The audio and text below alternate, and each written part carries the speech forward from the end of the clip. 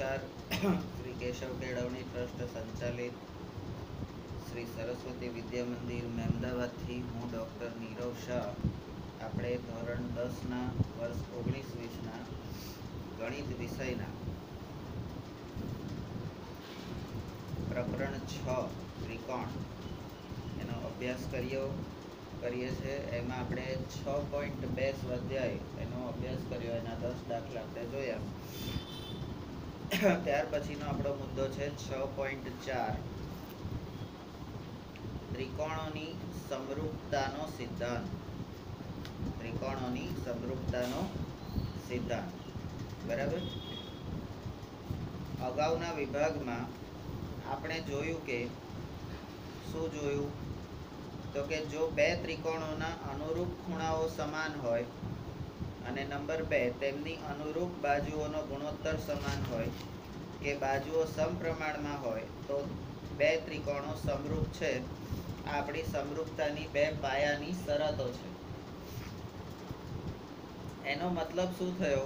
એટલે કે ત્રિકોણ એબીસી અને ત્રિકોણ ડીઈએફમાં જો ખૂણા અનુરૂપ ખૂણા સમાન, એટલે નંબર એક ખૂણો એ બરાબર ખૂણો ડી ખૂણો બી બરાબર ખૂણો ઈ અને ખૂણો સી બરાબર ખૂણો એફ અને અનુરૂપ બાજુઓનો ગુણોત્તર સમાન હોય તો એ ને અનુરૂપ બાજુ છે ડીઈ તો એ બી છેદમાં ડીઈ બરાબર બીસીને અનુરૂપ ઈએફ તો બીઈ બીસી છેદમાં ઈએફ બરાબર સીએ છેદમાં એફડી આ બાજુઓનો ગુણોત્તર એ પણ સમાન હોય તો ત્રિકોણ એબીસી અને ત્રિકોણ ડીઈએફ આ ત્રિકોણો સમરૂપ છે એવું કહેવાય. આકૃતિ છ પોઈન્ટ બાવીસમાં આ વસ્તુ દર્શાવેલી છે.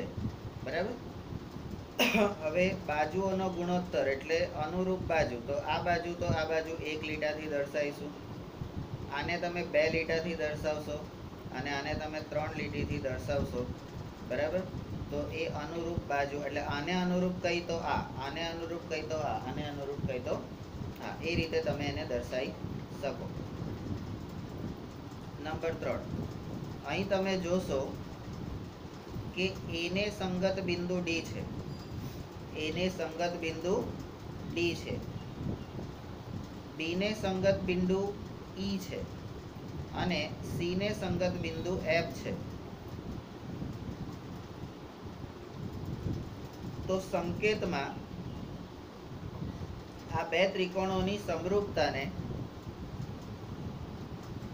તો ત્રિકોણની એકરૂપતા એટલે બે લીટી અને અળસિયું આપણને ખબર છે. અને ત્રિકોણની સમરૂપતા એટલે એકલું અળસિયું.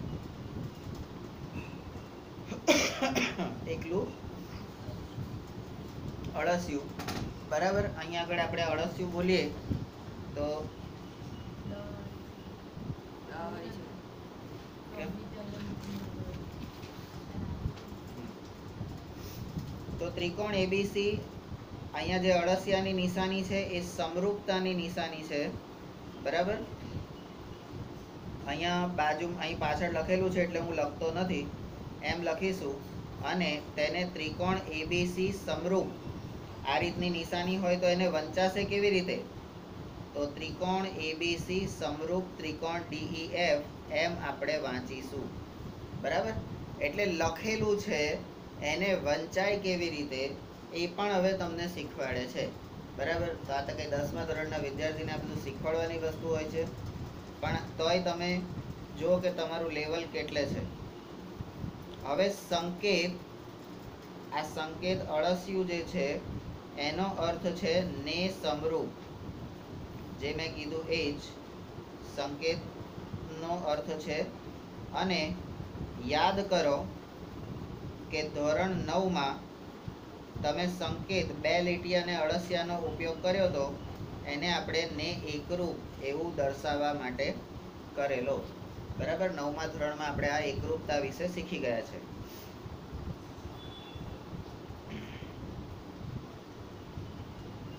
હવે એ નોંધવું પડશે. શું નોંધવું પડશે? તો કે જેમ બે ત્રિકોણોની એકરૂપતા દર્શાવી છે, એમ બે ત્રિકોણોની સમરૂપતાને તેના શિરોબિંદુઓની સાચી સંગતતાના સંકેતમાં, શિરોબિંદુઓની સાચી સંકત, સંગતતાના સંકેતમાં દર્શાવીને અભિવ્યક્ત કરી શકાય. અને એના ઉદાહરણ તરીકે, તમે છ પોઈન્ટ બાવીસના આકૃતિ છ પોઈન્ટ બાવીસના ત્રિકોણો એબીસી અને ડીઈએફ માટે તમે લખો તો કેવી રીતે લખી શકાય? તો કે એના માટે આપણે ત્રિકોણ એબીસી સમરૂપ ત્રિકોણ ત્રિકોણ એબીસી સમરૂપ ત્રિકોણ ઈડીએફ અથવા તો ત્રિકોણ એબીસી સમરૂપ ત્રિકોણ એફઈડી એફઈડી એવું લખી શકતા નથી. બરાબર?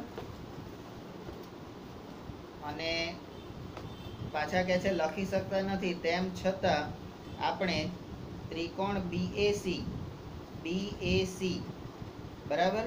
અને ઈડીએફ એટલે અહીંયાથી શરૂ કર્યો તમારો ત્રિકોણ. તો બીની સંગત બિંદુ ઈ તો બીએસી અને ઈડીએફ તો એ તમે લખી શકો. બરાબર? એટલે કયા શિરોબિંદુથી શરૂ કરીએ છે? અને કયા શિરોબિંદુએ અંત કરીએ છે એ પ્રમાણે તમારે અનુરૂપ ખૂણા અને અનુરૂપ બાજુઓ લેવાની છે. બરાબર? હવે સ્વાભાવિક રીતે એક પ્રશ્ન થાય. જે ભણતા હોય, એને પ્રશ્ન થાય. બરાબર? બાકીનાને પ્રશ્ન થાય નહીં. તો પ્રશ્ન શું થાય છે? તો કે બે ત્રિકોણોની સમરૂપતા ચકાસવા માટે હવે ચકાસણી કરવાની. ચકાસવા માટે કહો કે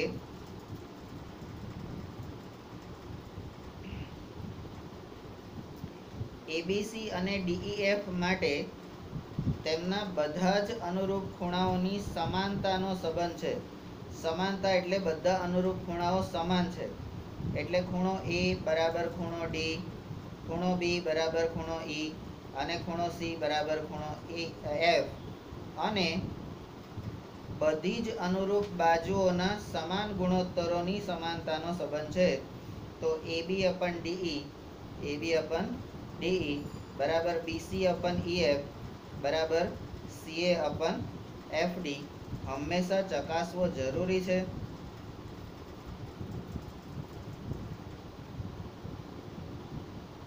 આ પેલા એકરૂપતાની જે શરતો હતી કે પહેલા કહે કે ત્રણે ત્રણ ખૂણા સરખા હોવા જોઈએ.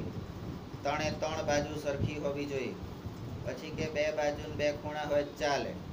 પછી કે છે એક ખૂણો બે બાજુ હોય ચાલે. પછી કે છે એક બાજુ ને બે ખૂણા હોય તો ચાલે.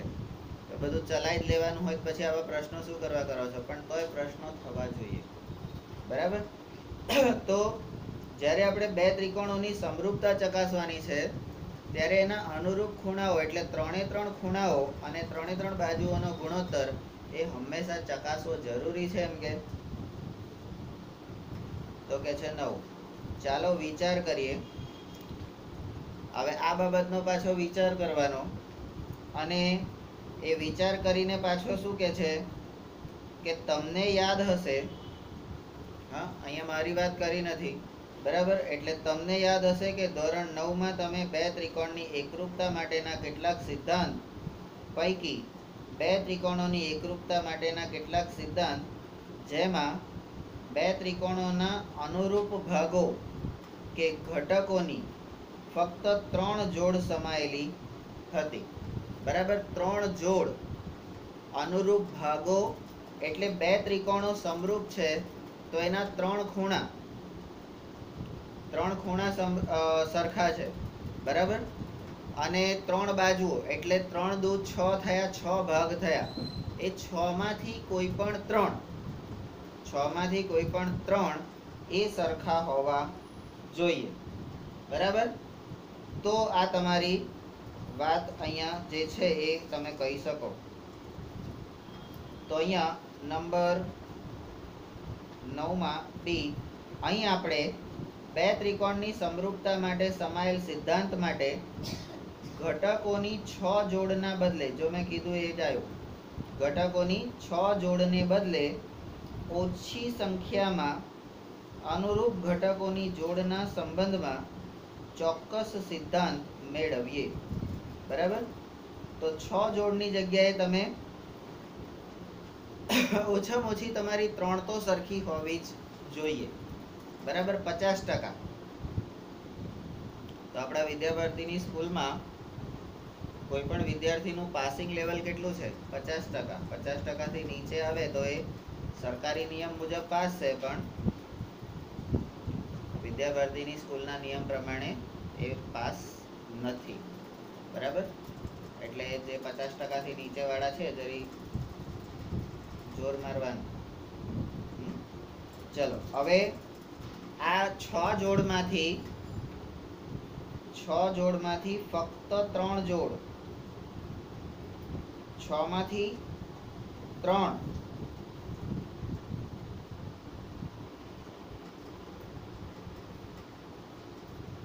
એટલે થ્રી આઉટ ઓફ સિક્સ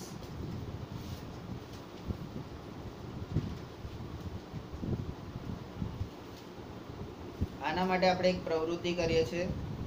બે જુદી જુદી લંબાઈના રેખાખંડો બે જુદી જુદી લંબાઈના રેખાખંડો બીસી અને ઈએફ અનુક્રમે, એટલે આ બીસી ભાઈ છે, એ ત્રણ સેન્ટીમીટરના છે.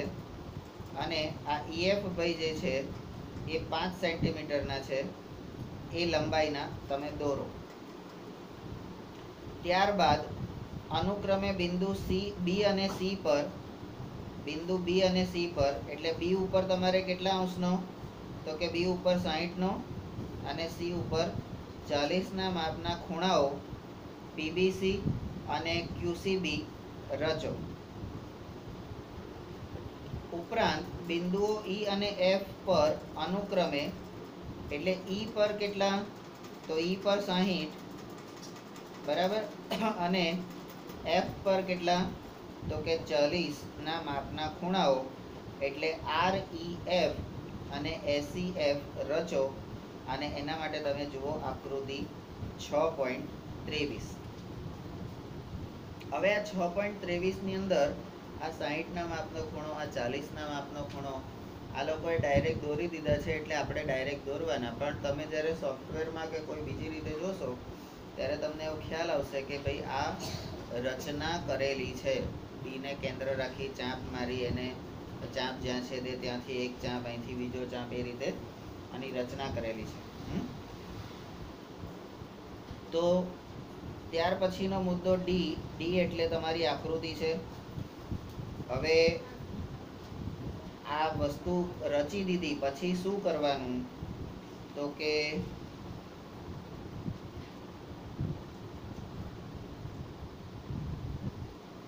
એટલે આ પ્રવૃત્તિ જે કરી, એટલે એને આપણે શું કહીશું? રચના. બરાબર? ત્યાર પછી રચના પરથી આપણને શું ધ્યાનમાં આવે છે, તો આપણે જે જોવાનું છે, અવલોકન. રચના પરથી આપણને ધ્યાનમાં આવે છે અવલોકન, એટલે ડી પછી ઈ ધારો કે કિરણો બીપી અને સીક્યુ એકબીજાને એમાં છેદે છે. અને એફ કિરણો ઈઆર અને એફએસ એ એકબીજાને ડીમાં છેદે છે. તો આ આપણને દેખાયું કે આ અહીંયા આગળ છેદે છે, આ અહીંયા છેદે છે. તો એનાથી શું થશે? તો કે ત્રિકોણ એબીસી અને ત્રિકોણ ડીઈએફમાં તમે જોશો, શું જોવાનું છે કે ખૂણો બી બરાબર ખૂણો ઈ નેવું અને, અરે સાહીઠ અને સાહીઠ ખૂણો સી બરાબર ખૂણો એફ ચાલીસ અને ચાલીસ અને ખૂણો એ બરાબર ખૂણો ડી આવું તમે કહી શકો. બરાબર? એફ પછી જી.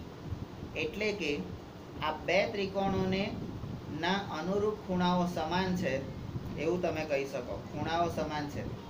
આવું કેમ કહી શકો તમે? તો કે સાહીઠ આપેલા છે, સાહીઠ આપેલા છે, એટલે એક ખૂણો સમાન થયો. ચાલીસ આપેલા છે, ચાલીસ આપેલા છે, એક, બે ખૂણા સમાન થયા. અને ત્રીજી કઈ વસ્તુ છે, તો એની બાજુ ઈએફ અને બીસીની લંબાઈ તમને આપેલી છે. એટલે ત્રણ વસ્તુ તમને આપેલી છે. બે ખૂણા અને અંતર્ગત બાજુ. બે ખૂણા અને અંતર્ગત બાજુ. આવું આપેલું છે એટલે ખૂબાખૂબ બે બે ખૂણાને અંતર્ગત બાજુ એટલે ખૂબાખૂબ તમને આપેલી છે. હવે જો આ ખૂણો અને આ ખૂણો સરખો હોય તો એની સામેની બાજુ સરખી થાય. આ ખૂણો ને આ ખૂણો સરખો હોય તો એની સામેની બાજુ સરખી થાય. અને આ બાજુ સરખી હોય તો એની સામેનો ખૂણો સરખો થાય. અને ત્રિકોણના ગુણધર્મોનો ઉપયોગ કરીએ તો ત્રિકોણના ત્રણેય ખૂણાનો સરવાળો એકસો ને એંસી થવો જોઈએ. હવે બે ખૂણા તમારા સાહીઠ અને ચાલીસના આપેલા હોય તો સાહીઠ ને ચાલીસ સો, તો ત્રીજો ખૂણો તમારો કેવો થશે? એંસી નો જ થશે. હવે બંને બાજુ તમે જુઓ કે બંને ખૂણાના માપ સાહીઠ અને ચાલીસ એટલે સો છે. તો એનો ત્રીજો ખૂણો બંને જગ્યાએ કેવો થશે? એંસી નો જ થશે ને? બરાબર? તો અહીંયા ઉપરનો ત્રીજો એ અને ડી બંને કેવો થશે? એંસી. બરાબર? તો એને તમે ત્રિકોણના ગુણધર્મોનો ઉપયોગ કરીને પણ સાબિત કરી શકો. અને આ જે શરતો છે ખૂબાખૂબ, એના આધાર ઉપર પણ તમે સાબિત કરી શકો. બરાબર છે? હવે કે છે કે ખૂણાઓ સરખા થયા એ તો તમે જોઈ લીધું એમ કે પરંતુ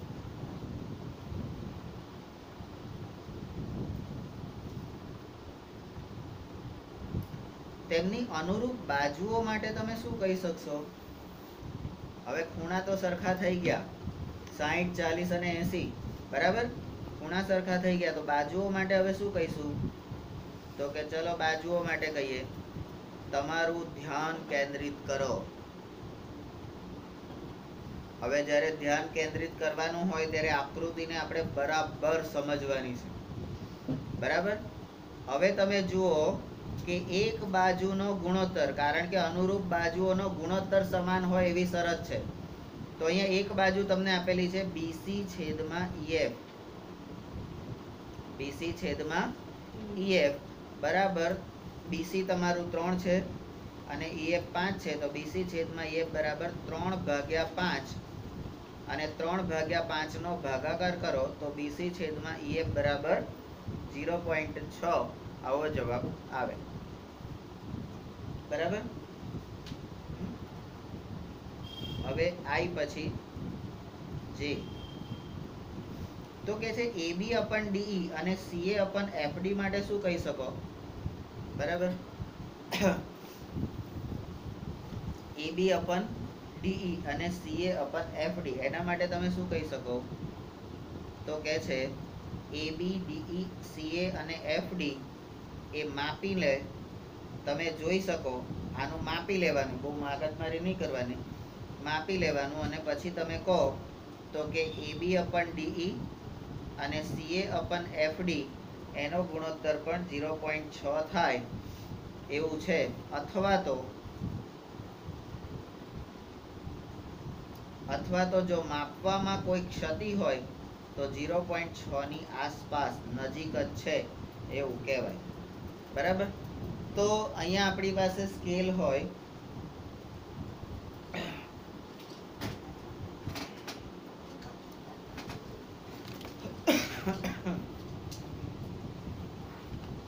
અહીંયા આપણી પાસે માનો કે ફૂટપટ્ટી હોય, તો અહીંયા આ જે ભાઈ છે એસી તો એસી અહીંયા આગળ ટુ પોઈન્ટ ફાઇવ છે. ટુ પોઈન્ટ ફાઇવ અને આ ડીએફ જે છે, એ ચાર પોઈન્ટ પાંચ છે. બરાબર? તો તમે અહીંયા સાદી ગણતરી, તો બે પોઈન્ટ પાંચ ભાગ્યા ચાર પોઈન્ટ પાંચ. તો અહીંયા પાંચે આપણે ભાગ ચાલે, તો ઝીરો પોઈન્ટ પાંચ ઝીરો પોઈન્ટ પાંચ ભાગ્યા અરે, પાંચું પાંચું પચીસ અને નવ પંચા પિસ્તાલીસ. ઝીરો પોઈન્ટ નવ. બરાબર? પાંચના છેદમાં નવ. હવે એનો તમે ભાગ ચલાવો, તો પણ તમારો ઝીરો પોઈન્ટ છની આસપાસ આવશે. બરાબર? તો એ રીતે તમે કહી શકો કે એલ પછી એમ કે આમ એની બાજુઓ એબી અપન ડીઈ બરાબર બીસી અપન સીઈએફ અને બરાબર સીએ અપન એફડી એ પણ અનુરૂપ. એટલે સમાન છે. એમ પછી એન તમે અનુરૂપ ખૂણાઓની જોડીઓ સમાન હોય, તેવા બીજા ત્રિકોણો રચીને પણ આ પ્રવૃત્તિનું પુનરાવર્તન કરી શકો. અને દરેક સમયે તમે જોશો, હવે તમે જોશો દરેક સમયે જોવાનું છે, તો એ શું થયું? એન પછી ઓ, તો દરેક સમયે તમારે જોવાનું તો શું જોશો? તો તારણ. હવે ડિસિઝન લેવાનું. કે તેમની અનુરૂપ બાજુઓના ગુણોત્તર સમાન અથવા તો સમપ્રમાણમાં હશે. અને આ પ્રવૃત્તિથી બે ત્રિકોણોની સમરૂપતા માટેની નીચેની શરત મળે છે. એટલે બે ત્રિકોણોની સમરૂપતા માટેની એક શરત. આપણને બે શરત તો આપેલી છે. કઈ? અનુરૂપ ખૂણા સમાન હોય અને બાજુઓનો ગુણોત્તર સમપ્રમાણમાં હોય. આવું બે આપેલું છે. હવે આપણને ત્રીજી શરત એટલે તમારો પ્રમેય છ પોઈન્ટ ત્રણ. બરાબર? હવે પ્રમેય છ પોઈન્ટ ત્રણ. પ્રમેય છ પોઈન્ટ ત્રણ શું છે? તો એનું વિધાન અહીંયા લખેલું છે. આ વિધાન શું છે? કે જો બે ત્રિકોણોમાં અનુરૂપ ખૂણાઓ સમાન હોય ખૂણાઓ સમાન હોય તો તેમની અનુરૂપ બાજુઓની જોડના ગુણોત્તર પણ સમાન જ હોય. ખૂણા સમાન તો બાજુઓ જખ મારીને સમાન થઈ જાય. બરાબર? એવું કે છે. અથવા તો જો બાજુઓ સમપ્રમાણમાં હોય તો તેથી તે બે ત્રિકોણો સમરૂપ છે. અને આ શરત એ બે ત્રિકોણોની સમરૂપતા માટેની ખૂ ખૂ ખૂ. ખૂ એટલે ખૂણો ખૂણો ખૂણો. એવી શરત તરીકે ઓળખાય છે. હવે ખૂણો સમાન, તો ખૂણાને અનુરૂપ સામેની બાજુ સમાન. આ ખૂણો તો એની સામેની બાજુ. ખૂણો ખૂણો ખૂણો. બરાબર? તો ત્રણ ખૂણા સમાન હોય, તો એના બાજુઓ સમાન જ હોય. બરાબર? ચલો. હવે આ જે ખૂ ખૂ શરત છે બરાબર? એને આપણે આપણી રીતે સમજીએ છીએ એટલે આપણી સમજને હવે આપણે સ્ટેપ નંબર એક, આકૃતિ દોરો. સ્ટેપ નંબર બે. તો આકૃતિમાં બે ત્રિકોણ દોરેલા છે અને એ બંને ત્રિકોણને આપણે નામ આપેલા છે એબીસી અને ડીઈએફ બરાબર? હવે આ પ્રમેયને આ પ્રમેયને ત્રિકોણો એબીસી અને ડીઈએફમાં ખૂણો એ બરાબર ખૂણો ડી ખૂણો બી બરાબર ખૂણો ઈ અને ખૂણો સી બરાબર ખૂણો એફ લઈને સાબિત કરી શકાય. જુઓ આકૃતિ છ પોઈન્ટ ચોવીસ. હવે સાબિત કરી શકાય છે, પણ કેવી રીતે? તો કે DP upon AB DP upon AB એટલે બાજુઓનો ગુણોત્તર, આ ડીપી જે છે અને એ બી અને DQ upon AC DQ upon AC આ દોરો. એટલે અહીંયા તમારે પી બિંદુ ને અહીંયા ક્યુ બિંદુ દોરવાનું છે. અને આ પીક્યુ ને તમારે શું કરવાનું છે? ડોટેડ લાઇનથી જોડી દેવાનું છે. અને આનાથી શું મળશે? તો કે ત્રિકોણ એબીસી એકરૂપ. ત્રિકોણ એબીસી એકરૂપ. ત્રિકોણ ડીપીક્યુ એટલે આ નાનો ત્રિકોણ. આ એકરૂપ મળે છે કેમ? આ બે એકરૂપ કેમ થયા? હા? કદ આકાર માપ. કદ આકાર માપ દેખાવ બધું સરખું. તો એકરૂપ. એટલે ઝેરોક્સ કોપી બરાબર? શું? ઝેરોક્સ કોપી હા. અને આના ઉપરથી તમે કહી શકો કે ખૂણો પી અરે ખૂણો બી બરાબર ખૂણો પી બરાબર ખૂણો ઈ અને એનાથી તમે કહી શકો કે તેથી પીક્યુ છે સમાંતર ઈએફ હવે અહીંયા આ ત્રણ ખૂણા ખૂણો બી એ ખૂણા પી જેટલો છે અને ખૂણો પી જે છે ને, એ ખૂણા ઈ જેટલો છે. તો અહીંયા બે રેખાઓની છેદિકાથી બનતા કયા ખૂણા આવશે? આ રીતે આ રીતે તમે કહો તો આ ખૂણો અને આ ખૂણો. તો આ બે ખૂણા કયા આવશે? અચ્છા. અનુકોણ આવશે? પાક્કું બરાબર? તો આ કેવી રીતે કર્યું ને? તો અનુકોણ કેવી રીતે તો? અનુકોણ બરાબર? તો આ અનુકોણ હોય? એટલે તો અહીંયા, એટલે આ ખૂણાઓ અનુકોણ હોય? તો તેથી આ પીક્યુ સમાંતર ઈએફ થાય. હવે આ PQ સમાંતર EF કેવી રીતે થયા? આ PQ સમાંતર. આ સમાંતર રેખાઓની છેદિકા. સમાંતર રેખાઓની છેદિકાની પૂર્વધારણા. તો કઈ પૂર્વધારણા પ્રમાણે આપણે કરીશું? પૂર્વધારણા એક, બે, ત્રણ, ચાર, પાંચ, છ, સાત, આઠ? આપણે કેટલી પૂર્વધારણા ભણ્યા હતા કોઈ ખબર?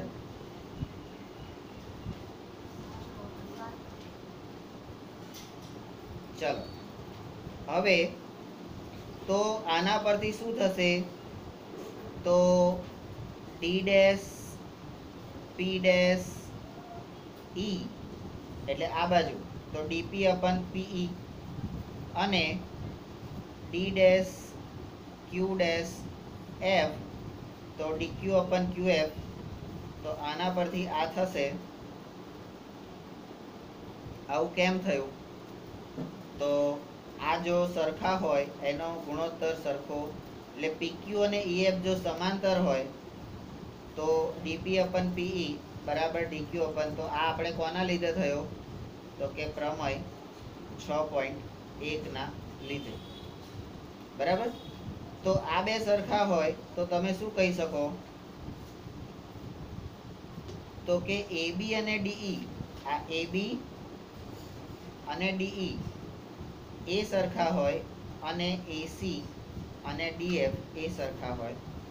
તો બાજુઓનો ગુણોત્તર, એટલે ખૂણો બી સરખો હોય, ખૂણો બી સરખો હોય તો એને અનુરૂપ બાજુ આ એ સરખો હોય. બરાબર? તો આવું કેમ થયું?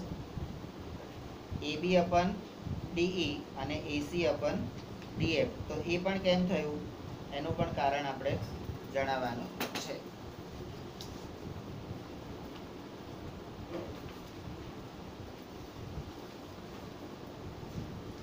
હવે જે આ પહેલા બે માટે, એટલે આ બે બાજુઓ માટે જે આપણે કર્યું, એ જ વસ્તુ તમારે બીજી બે બાજુઓ, એટલે A B upon D E બરાબર B C upon E F એટલે બીસી અને ઈએફ માટે પણ આ વસ્તુ સાબિત કરવાની છે. બરાબર? તો નંબર છ. છ પછી આવ્યો સાત. અને હવે આવે આઠ. તો આ જ રીતે તમે એ બી અપન ડીઈ બરાબર બીસી અપન ઈએફ અને એવું પણ સાબિત કરી શકો તો હવે નંબર નવ. તેથી તમે કહી શકો કે એ બી અપન ડીઈ બરાબર બીસી અપન ઈએફ બરાબર એસી અપન આવું તમે કેવી રીતે કહી શકો? તો કે પરિણામ એક અને બે પરથી.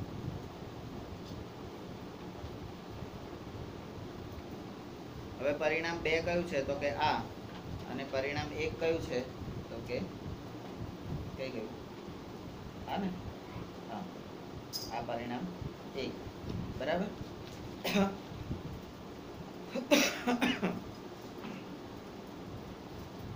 હવે નંબર દસ. નોંધ.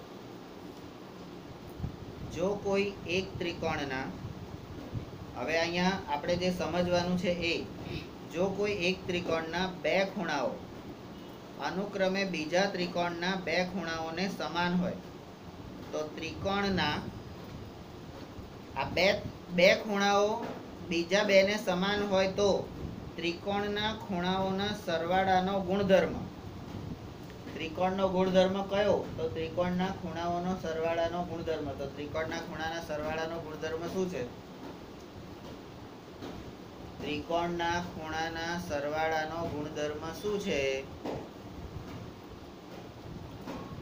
ત્રિકોણના ત્રણેય ખૂણાનો સરવાળો એકસો ને એસી છે. બરાબર? નવમા ધોરણનું છઠ્ઠું કે સાતમું પ્રકરણ ત્રિકોણ એ કેમ અગત્યનું છે એ હવે ખબર પડે. ત્યાં સુધી ખબર પડે નહીં. નવમાં ભણતા હોય ત્યાં સુધી તો લેર પાણી લાકડા આપણે કઈ ભણવાનું છે? ભણાવે તો ભણી લેવાનું, બેહી રહેવાનું ચૂપચાપ. સંભળાવે તો સાંભળી લેવાનું. બરાબર? પણ એનો જ્યારે ઉપયોગ આવે ને વ્યવહારમાં ને વાસ્તવિકતામાં ત્યારે ખબર પડે કે તે વખતે ભણ્યા હોત તો સારું. બરાબર? તો ગુણધર્મ પ્રમાણે ત્રીજો ખૂણો પણ સમાન થાય. તેથી ખૂ ખૂ સમરૂપતાની શરતને આમ લખી શકાય. તો ખૂ ખૂ ખૂ ખૂ ખૂ ખૂ ખૂ ખૂ શરત. શું લખીશું? તો અહીંયા લખવાનું ખૂ ખૂ ખૂ. હે? પેલા પેલું? ખૂ ખૂ ખૂ. બરાબર? જો કોઈ એક ત્રિકોણના બે ખૂણાઓ અનુક્રમે બીજા ત્રિકોણના બે ખૂણાઓને સમાન હોય, તો બે બે ત્રિકોણ સમરૂપ છે એવું કહેવાય. અને આ શરતને બે ત્રિકોણો માટેની સમરૂપતાની ખૂખું. હવે આ ખૂખું શરત એટલે શું? ખૂખું શરત તરીકે ઓળખવામાં આવે છે ને આ ખૂખું શરતને આપણે શું કહેતા હતા? માધુરીની શરત. હે? માધુરી શરત. ખૂખું શરતને શું કહેતા હતા? અને માધુરી પાછી કઈ? તો હમ આપકે હે कौन? હે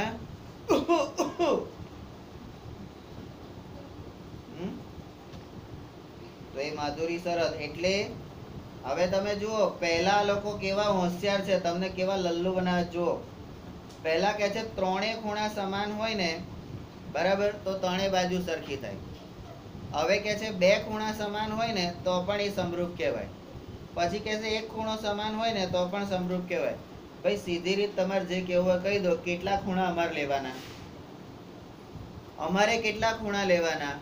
તો તમને પહેલાંય કીધું હતું અને અત્યારે ફરી કહું છું, નવમા ધોરણમાં ગળું ફાડી ફાડીને કીધું હતું જેટલી એકરૂપતાની શરતો છે ને, એટલી ને એટલી જ સમરૂપતાની શરતો આવશે.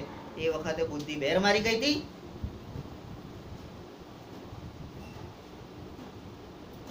હવે બોલો કેટલી શરતો હતી તમે ભણ્યા એકરૂપતાની? એટલી ને એટલી સમરૂપતાની છે ને એટલી પ્રવૃત્તિઓ તમારે કરવાની છે ને એટલી શરતો પાછી યાદ કરવાની છે. શું કરી લેશો? બોલો. કરવું જ પડશે. બરાબર? ચલો.